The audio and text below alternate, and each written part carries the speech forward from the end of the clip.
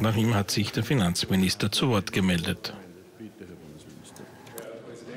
Haus, äh, geschätzte Damen und Herren, ich möchte beginnen mit einem Dank an den Bundeskanzler. Er hat gesagt, niemand will neue Schulden. Und daher zeigt dieses Beispiel, wir sind uns im Ziel sehr klar. Und das, was Sie hier versuchen herauszuarbeiten, ist die Diskussion über die Methodik, wie wir dorthin kommen. Und das ist, glaube ich, gerechtfertigt, dass wir hier eine durchaus konstruktive Auseinandersetzung führen. Und daher glaube ich, dass viele hier offensichtlich im Prozentsatz mehrere doch so etwas haben wie eine selektive Wahrnehmung. Jeder sucht sich heraus, was gerade für ihn günstig ist und äh, sieht das große Ganze offensichtlich auch nicht mehr. Der zweite Punkt ist, ich sage in aller Offenheit und habe das gestern auch in dem ZIP-2-Interview gesagt, das hat überhaupt nichts mit der Zuordnung der Ministerien zu tun und würde ein äh, Minister, Sozialminister sein, der aus der ÖVP kommt, würde ich genau dieselbe Kritik anbringen. Das hat überhaupt nichts damit zu tun, sondern die Tatsache, warum wir das heraus noch einmal gestrichen haben, ist, dass wir gesagt haben, wo sind die ganz großen Entwicklungen und Brocken, die wir angehen müssen. Und das hat überhaupt nichts damit zu tun. Und wenn hier äh, alle aufmerksam zugehört hätten, es wird keine Arbeitsgruppe geben zum Spending Review. Wir setzen das im Ministerium in meinem Haus bereits um. Und ich sage, wenn wir wollen, dass alle anderen diese Methodik anwenden, um die Ausgaben auf ihre Effizienz und Wirksamkeit zu überprüfen, dann muss gerade mein Haus der Erste sein, der das tut, um dieses Beispiel zu geben, dass alle diesem auch folgen sollen. Meine sehr geehrten Damen und Herren, ein zweiter Vorbemerkungspunkt, damit das auch gleich klargestellt ist, kann man alles nachlesen. Es hat überhaupt keine Kritik an den Investitionen in die Infrastruktur gegeben. Meine Kritik war, wir haben Vorbelastungen in Höhe von 140 Milliarden eingegangen und wir sollten in Zukunft mit diesen Vorbelastungen sorgsamer umgehen, um nicht, wie von allen gefordert, die nächste Generation damit zu belasten.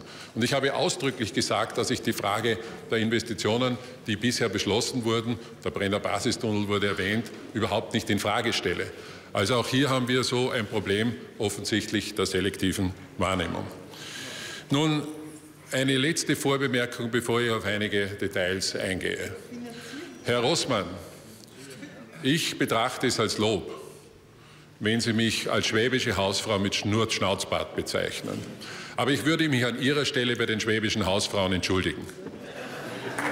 Denn würden wir uns so verhalten, und das ist Ihr alter Slogan, das haben Sie übrigens dem Herrn Schäuble auch schon vorgeworfen einmal, würden wir uns so verhalten wie die Schwaben und würden wir uns so verhalten wie die schwäbischen Hausfrauen, hätten wir die Hälfte der Budgetprobleme mit Sicherheit nicht. Und deshalb stehe ich auch dazu. Und ich stehe, ich stehe auch dazu, Sie müssen es ja nicht teilen, es ist ja ganz klar, äh, wenn Sie mir eine neoliberale Agenda vorwerfen, halte ich das aus. Aber wahrscheinlich bin ich vom Neoliberalismus weniger entfernt wie Sie von der ganz linken Struktur. Meine sehr geehrten Damen und Herren, wenn man einen Punkt dazu noch erwähnt. Da kommt immer der Abgeordnete Rossmann mit der Sparpolitik in Europa. Ich weiß nicht, ob Sie sich jemals einmal die Schuldenentwicklung in Europa angeschaut haben.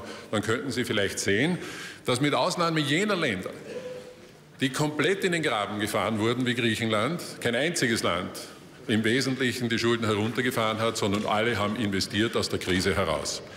Und daher glaube ich, wenn Sie sich das wirklich anschauen, dann kommt schon noch ein Punkt, der von Ihnen auch immer kommt, und ich sage das bei den Pensionen gleich ganz generell. Ja, das macht ja Spaß, wenn jemand sagt, im Jahr 2050 sind es nur 1,5 Prozent mehr. Würden Sie nicht gerne diese 1,5 Prozent in Forschung, Entwicklung, Bildung investieren? Diese Frage müssen Sie sich stellen. Und wenn Sie auch hochrechnen, Sie sind ja ein gewiefter, Sie sind ja ein gewiefter Rechner, Herr, Herr, Herr Professor Rossmann, Sie sind ja ein gewiefter Rechner. Ja, natürlich bei den Ausführungen ist es doch sehr professional. Also ich habe da gar keine Probleme damit. Äh, wenn Sie das wirklich durchrechnen und eine Hochrechnung machen, wie das BIP nach heutiger Annahme, die möglicherweise völlig falsch ist, ja, bis 2050 prognostiziert wird, dann können Sie sich die Summe errechnen, die wir zusätzlich benötigen. Und ich sage auch noch dazu, und das habe ich ja damit gemeint, und Sie haben das ja auch kritisiert, dass ich gesagt habe, dass wir diese Zuschüsse reduzieren können, nicht kürzen, sondern reduzieren können. Und ich sage Ihnen folgendes Beispiel. Wir haben eine Beamtenpensionsreform gemacht, die war schwierig.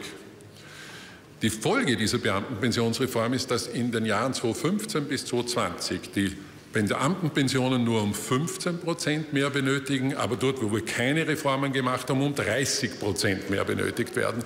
Und das muss doch ein Ansatzpunkt sein, wo wir sagen, schauen wir uns das an, was können wir hier machen, ohne in bestehende Strukturen einzugreifen. Und wenn Sie das faktische Pensionsantrittsalter ansprechen, äh, dann sage ich Ihnen dazu, wir, nein, ich bin schon weg von Ihnen. Also es dreht sich nicht die ganze Antwort jetzt um Sie. Äh, wenn ich das faktische Pensionsantrittsalter anspreche, wir kommen nicht schnell genug voran, wenn man die statistische Herausrechnung sich anschaut, die bezogen ist auf die Reha-Geldbezieher. Nun, wenn man einzelne, einzelne Punkte sich anschaut, Sie können gern, Herr Klubobmann, oder kann es gern dann zu einer Berichtigung machen, ich habe gar kein Problem damit. Ich darf vielleicht auf ein paar Punkte noch hinweisen. Es ist natürlich leicht, hier sich äh, herzustellen und zu sagen, an allem schuld, an allem schuld ist das Budget. Und an allem schuld ist der Finanzminister. Ich nehme das auch gern auf mich. Aber schauen Sie sich doch einmal unsere Gesetzeslage an mit den Ministeriengesetzen und schauen Sie sich einmal genau an, welche Eingriffsmöglichkeiten eigentlich ein Finanzminister ins Budget in den einzelnen Ressorts hat. Und schauen Sie sich einmal an, äh, warum manche Lösungen so entstehen, wie sie entstehen. Und dann sage ich einen zweiten Punkt dazu. Ich mache Sie darauf aufmerksam, dass nach, Haus, nach, dem Haushaltsrecht ich keine Budgetierungen vornehmen kann ohne gesetzliche Grundlage. Und wenn es keine gesetzliche Grundlage gibt, dann kann ich das auch nicht budgetieren. Da können Sie jetzt darüber diskutieren, ob das richtig ist. Und was das Klima anbelangt, wenn Sie auch hier aufmerksam zugehört haben, habe ich gesagt, wenn die Klimastrategie vorliegt, wird es im Bundesfinanzrahmen realisiert. Es ist, nicht so, es, ist nicht, es ist nicht so spät und wir diskutieren das ja im Ausschuss auch immer. Äh, Sie machen immer mich für die Klimastrategie verantwortlich. Ich finde das eigentlich sehr eine spannende Geschichte. Wenn man, wenn man äh, die Herausrechnungsfrage sich anschaut mit den Flüchtlingen, so haben Sie ja völlig recht, dass wir hier eine längerfristige Entwicklung zu berücksichtigen haben. Aber herausrechnen darf ich sie nur für 16 und 17. Und dann ist es vorbei und nicht mehr in dem strukturellen Defizit, äh, das wir jetzt zurzeit Ihnen vorlegen. Die Frage, die sich daraus ergibt, ist auch die Frage, wie setzen sich denn eigentlich diese Gesamtkosten, die wir für die Herausrechnung heranziehen, zusammen. Wir haben da drinnen die Grundversorgung, die Asylverfahren, das Grenzmanagement, die Integration durch das Außenministerium, die Hilfe vor Ort durch das Außenministerium, die zusätzlichen Sicherheitskosten für die Landesverteidigung und die aktive Arbeitsmarktpolitik, die wir benötigen. Dieses setzt sich dann zusammen. Und daher kann man nicht vergleichen, was war vor einem Jahr und was ist jetzt, weil es damals diese Maßnahmen, wie zum Beispiel den Assistenzeinsatz, den wir finanzieren, gar nicht gegeben hat. Die Frage, die auch aufgeworfen würde im Rahmen des Budgets, äh, möchte ich auch noch einmal klarstellen. Wir finanzieren derzeit diese Republik so, dass äh, wir langfristige Finanzierungsverträge abschließen und ich je nach Halbwertszeit des Finanzministers oder der Finanzministerin würde ich meinen, dass durch die Abschlüsse, die wir jetzt tätigen, ungefähr die siebte Finanzministerin oder Finanzminister nach mir noch von unseren Verträgen mit den Niedrigzinsen profitieren wird. Genauso wie wir jetzt noch einen Nachteil haben aus den Verträgen, die von früheren Jahren gekommen sind. Und ich glaube schon, wenn man äh, diesen Weg beschreitet, dass wir hier auch in dieser Frage, was die Zinsentwicklung anbelangt, auf einer sicheren Seite sind. Der Finanzausgleich wurde angesprochen. Ja, was kann ich budgetieren im Finanzausgleich ohne Rechtsgrundlage? Aktuell nichts und ich werde Sie so auf dem Laufenden halten, was dann die Ergebnisse dort sein werden. Machen Sie sich keine Sorgen, äh, es wird dieses Ergebnis dann geben. Kalte Progression ist angesprochen. Ja, mein Vorschlag liegt auf dem Tisch. Und weil der Herr Klubobmann-Strolz gemeint hat, wir müssen das im nächsten Budget drinnen haben, jetzt haben wir Vorkehrungen über die Steuerreform getroffen, dass die kalte Progression abgegolten ist. Nun, äh, die, die Fragestellungen mit der Frage, kommen wir herunter, kommen wir auf den richtigen Weg, möchte ich noch einmal aus dem Budget Ihnen zitieren. Wir haben um 827 Millionen weniger Auszahlungen und wir sind um 2,2 Milliarden geringer in der Verschuldung, wie wir sie im Bundesfinanzrahmen, der dieses Haus beschlossen hat, äh, eingetaktet hatten. Daher glaube ich, dass wir mit Fug und Recht sagen können, wir sind auf dem richtigen Weg. Und wenn Sie es noch einmal wissen wollen, was ich auch gestern gesagt habe, wir sollten diesen Weg nicht nur fortsetzen, sondern wir sollten ihn beschleunigen. Und dann kommen wir auch dorthin, wo wir uns Spielräume schaffen, um in die Zukunft äh, zu investieren. Und ein letzter Punkt noch, weil der Herr Klubobmann-Luger und auch der Herr Hable äh, gesprochen haben über die HETA. Ich war einigermaßen entsetzt gestern, dass nach eineinhalb Jahren Ausschussbericht äh, hier eigentlich niemand bereit war, dem Ausschussbericht äh, irgendwie zuzuhören. Ich glaube, die Arbeit hat sich ausgezahlt. Die Arbeit hat sich ausgezahlt. Aber wenn gestern dann in einem Interview sowohl Hable als auch Kogler sagen, auf meine Ankündigung hin, wir brauchen eine Finanzmarktreform, das als Ablenkungsmanöver zu bezeichnen, dann weiß ich nicht, ob sich die Arbeit wirklich gelohnt hat. Denn genau das war doch die Argumentation im Untersuchungsausschuss zu sagen, die Aufsicht hat nicht hundertprozentig funktioniert und deshalb müssen wir dort etwas ändern. Jetzt gehen wir das an.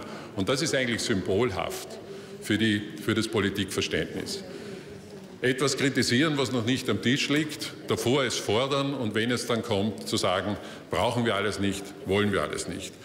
Und die Frage, die uns Gott sei Dank für die Zukunft nicht mehr belasten wird, ist das Thema der HETA-Lösung. Und ich würde gerne auch einmal mit jenen diskutieren, die weiterhin der Meinung sind, die bessere Lösung wäre gewesen, die HETA samt Kärnten in Konkurs zu schicken und dann Österreich in eine Situation zu bringen, wo wir nachhaltig viel größere Budgetprobleme bekommen hätten, wie wir jetzt, wenn wir dieses Problem lösen. Und daher glaube ich, wir sollten äh, zur Kenntnis nehmen, das, was machbar war, stellt dieses Budget dar. Die Einzelfragen sind in den Ausschüssen bei den Kapiteln zu lösen und werden sicherlich in jeder Frage ausreichend beantwortet werden. Daher meine ich, wenn wir das wirklich ernst meinen, was heute auch hier gesagt wurde, dann sehe ich hier keinen Streit über die Ziele, wo wir dieses Land hinbringen wollen. Ich sehe nur einen Diskurs darüber, mit welchen Maßnahmen schaffen wir diese Zielerreichung. Vielen Dank.